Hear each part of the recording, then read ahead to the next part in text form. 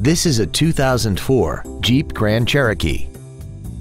This SUV has a four-speed automatic transmission, a 4.0-liter inline six-cylinder engine, and four-wheel drive. Its top features include aluminum wheels and skid plates.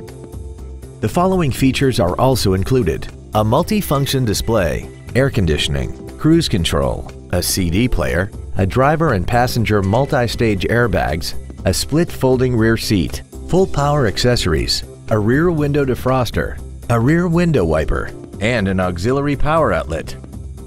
Stop by today and test drive this automobile for yourself.